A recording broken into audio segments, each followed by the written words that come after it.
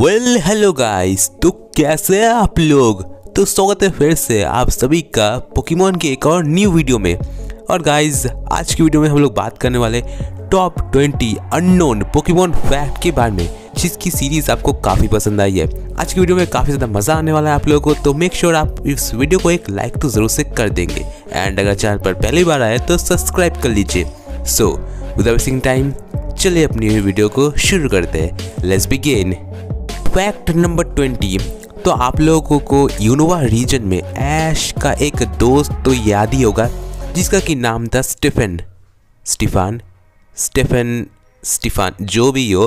तो स्टीफान के पास आप लोगों को एक पोकेमोन आप लोगों को स्टीफान का याद होगा, जो कि होगा जेब स्ट्राइकर जिसको कि स्टीफान ने काफ़ी बार यूज़ किया है। बट ये तो आप लोगों को पता होगा कि Zebstrika electric type Pokemon है बट बावजूद इसके पूरे पोकेमोन की सीरीज़ में जेप्स स्ट्राइकर ने अब तक जितने भी बैटल किए, उन बैटल में से किसी एक बैटल में भी अब तक जेप्स स्ट्राइकर ने एक भी इलेक्ट्रिक टाइप मूव का इस्तेमाल नहीं किया सिर्फ़ नॉर्मल टाइप मूव का इस्तेमाल किया अपने सारे मैचेस के दौरान। पैक नंबर 90 अब कालोस रन की जो ऐश की टीम है ऑब्वियसली हम सभी जानते हैं कितने ताकतवर पोकेमोन से भरी पड़ी है वो टीम और ऐश ने काफ़ी सारे जिम बैटल्स भी इन्हीं पावरफुल पोकेमोन्स की मदद से जीते हैं। बट क्या आप लोगों को पता है कि ऐश की टीम में सारे के सारे पोकेमोन्स ने कभी ना कभी एक जिम बैटल कालो सीरीज़ में ज़रूर से किया है। बट क्या आप लोगों को पता है कि ऐश का नॉयवेन एक लौता ऐसा पोकेमोन है जिसने पूरे कालोस रीजन में एक भी जिम बैटल में बैटल नहीं किया है। फैक्ट नंबर 80 अब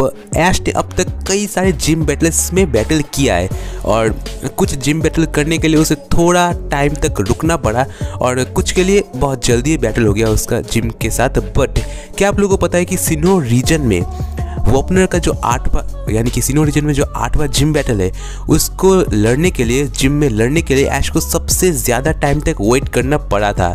यानी कि उस जिम बैटल को लड़ने के लिए ऐश को सबसे ज़्यादा वक्त तक इंतज़ार करना पड़ा था। फैक्ट नंबर सेवेंटीन अब जिगली पब को तो हम हम सभी जानते हैं कि उसका जो गाना है, उसके गाने में एक बहुत ही मैजिकल पावर है, जिसकी मदद से, एक सीक्रेट पावर है, जिसकी मदद से हर कोई उसका गाना सुनकर सो जाता है। और ऐसा पूरे पोकेमोन के एनिमेस के सीरीज़ में अब तक कोई भी ऐसा नहीं है जो कि चिगली पप का गाना सुनकर सोया नहीं हो। बट क्या आप लोग को पता है कि शॉकिंगली पोकेमोन होइन रीजन में अलार नाम का एक ट्रेनर था, जिसके पास एक विस्पर था, जिसने जिगली पप का पूरा गाना जी हाँ पूरा गाना सुना, पर फिर भी उसके बाद भी ये पोकेमोन नहीं सोआ। फैक्ट नंबर सिक्सटीन अब हमारा, हमें पता है कि अपना ऐश कितना सख्त लौंडा है बट क्या आप लोगों को पता है? और ये तो आप सभी को पता होगा कि ऐश ने अब तक कई सारे पोकी गर्ल्स के साथ सफ़र किया है। एंड उनमें से काफ़ी सारे खूबसूरत लड़कियाँ भी थी बट क्या आप लोगों को पता है कि ऐश उनमें से एक पर भी लट्टू नहीं हुआ बट ये तो आप लोगों को याद होगा कि पोकेमोन की शुरुआत के सीज़न वन में हमें जेसल नाम की एक लड़की देखने को मिलती है जिसकी तस्वीर ऐश देखकर मतलब सिर्फ़ ऐश ही नहीं ऐश और ब्रॉक दोनों ही लट्टू हो जाते हैं। मतलब एक तरह से कह सकते हैं कि ऐश ब्लश करने लगता है। तो जैसे लो पहली गर्ल है जिसको देखकर ऐश ने ब्लश किया था। फैक्ट नंबर फिफ्टीन तो गाइस क्या आप लोगों को पता है कि ऑब्वियसली मिस्टी ने काफ़ी बार बैटल्स में गोल्डन का इस्तेमाल किया है बट क्या आप लोगों को ये बात पता है कि गोल्डन ने अब तक ऑफिशियली पूरे एनिमे के अंदर सिर्फ़ एक ही बैटल ऑन स्क्रीन जीता है, जो कि था आई थिंक ऑरेंज लीग में जेम्स के विक्टिबल के खिलाफ। पूरे पोकेमोन के एनिमे में सिर्फ़ गोल्डन एक ही बैटल जीता है, और वो था यही बैटल फैक्ट नंबर 14 अब आप लोगों को कालोस रीजन में गुडगिन तो याद ही होगा, जो कि ऑब्वियसली कोरिना के ग्रैंडफादर है, वो हमें देखने को मिले थे, और उनके पास मेगा लुकारियो भी था। बट क्या आप लोगों को पता है कि इनके पास मेगा लुकारियो के अलावा एक और मेगा पोकेमोन है जो कि है मेगा अलकेजाम? और ऐसा बताया गया कि उनके पास और भी कई सारे ऐसे पोकेमोन हैं जो कि मेगा इवॉल्व कर सकते हैं। सो आई थिंक ये कह सकते हैं कि पूरे पोकेमोन के एनिमे के अंदर गुडकिन वो एक लौता ऐसा कैरेक्टर है जिसके पास सबसे ज़्यादा मेगा इवॉल्व पोकेमोन है। फैक्ट नंबर थर्टीन अब यूनोवा रीजन में हमने ये देखा है कि आयरस के पास एक एक्सियो था और पिकचू की तरह ही हमें, हमने कभी भी एक्सियो को पोकेबॉल के अंदर नहीं देखा। यूनोवा रीजन के सफ़र के दौरान जब ऐश उसके साथ सफ़र करता था एंड हमेशा ही एक्सियो आयरस के बालों में रहता था।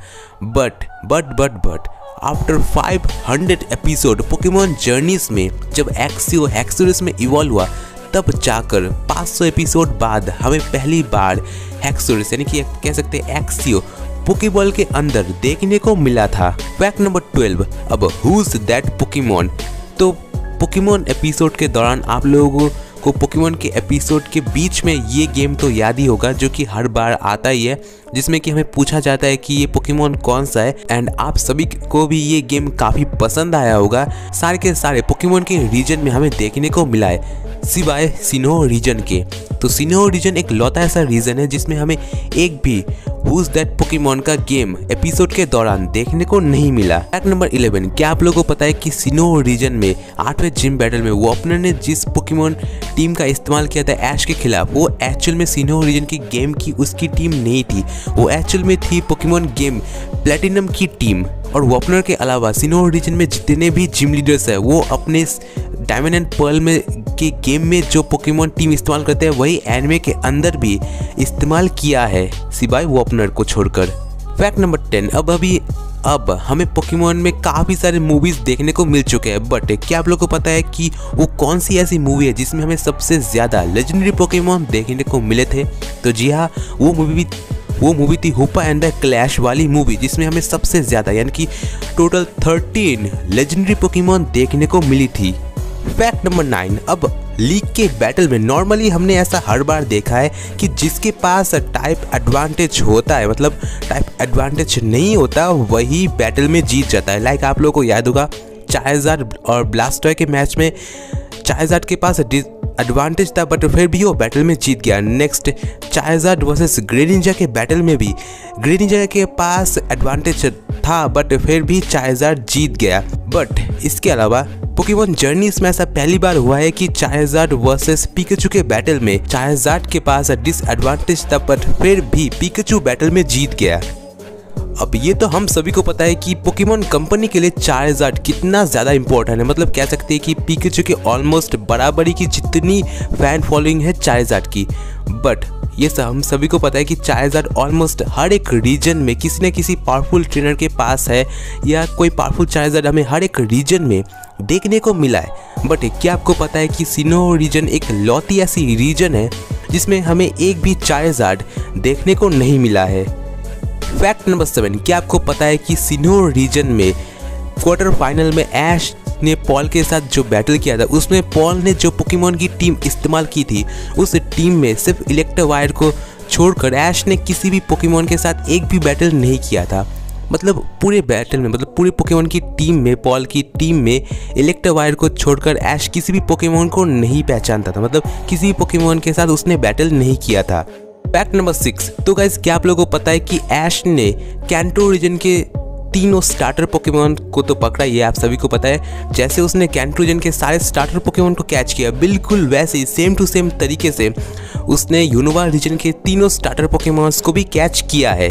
लाइक फायर टाइप में टेपिक और चार्मेंडर दोनों को, दोनों पोकेमोन्स को ही उनके ट्रेनर ने उन्हें छोड़ दिया, फिर ऐश ने उन्हें सेव किया और ऐश ने उन्हें पकड़ा।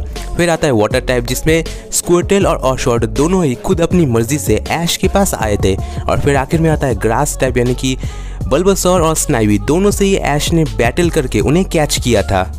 फैक्ट नंबर फाइव क्या आप लोगों को पता है कि पूरे पोकेमोन की सीरीज़ में यूनोवा रीजन एक लौती ऐसी रीजन है, जिसमें कि ऐश ने एक भी सिक्स ऑन सिक्स बैटल नहीं किया? फैक्ट नंबर फोर क्या आप लोगों को पता है कि यूनोवा रीजन में ऐश का जो फ्रेंड है साइलेंस उसकी पूरी टीम में बस एक क्रसली ऐसा पोकेमोन है जो कि इवॉल्व हुआ। इसके अलावा साइलेंस का एक भी पोकेमोन इवॉल्व नहीं हुआ। फैक्ट नंबर थ्री तो गाइस इटरनेटस पोकेमोन को तो आप लोगों ने काफ़ी बार देखा ही पोकेमोन जर्नी से, पर क्या आपको पता है कि इटरनेटस एक ऐसा पोकेमोन है जो कि अर्थ का नहीं है, वो बाहर से आया, एक एलियन पोकेमोन है।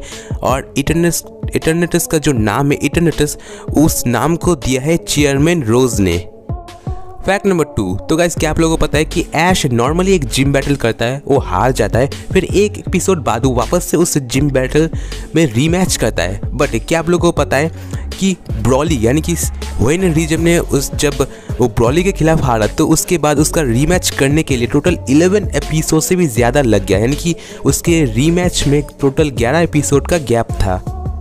Fact number one. तो गाइज़ हमने पोकेमोन जर्नीज में ड्रैगनेट को देखा है। वाह भाई, क्या कमाल का पोकेमोन है। मतलब क्या आप लोगों को पता है कि पूरे दो साल तक वो अनडिफिटेड था। हालाँकि बहुत ही कम बैटल करता था बट जितने भी बैटल उसने किए, वो सब में वो जीता।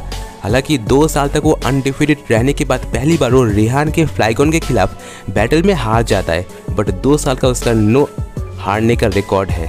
तो गाइज़ यही थी वीडियो। होप करता आप लोगों को पसंद आई होगी। वीडियो पसंद आए तो लाइक कर दीजिए, चैनल पर पहली बार आए तो सब्सक्राइब कर लीजिए। तो मिलते किसी नेक्स्ट एंड ऐसी औसम वाली वीडियो में, तब तक के लिए नमस्ते, खुदा सागर, प्रणाम।